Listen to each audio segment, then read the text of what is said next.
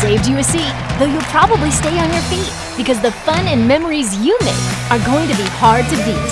Your favorite place for food and family entertainment is here. The South Bend Cubs at Four Winds Field, where everyone comes to play.